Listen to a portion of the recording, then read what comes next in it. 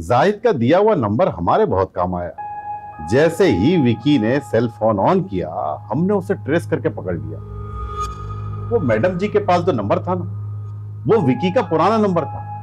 अरे वो तो कब का बंद हो चुका था? ये खबीस जो है वाकई विकी ही उस लड़की का शौहर था? शौहर?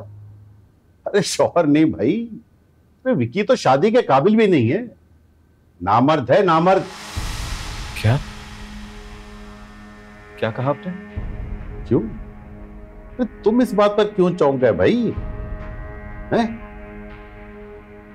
नहीं जी कुछ नहीं वो मिल सकता हूँ मैं विकी से हाँ आप मिल सकते हैं।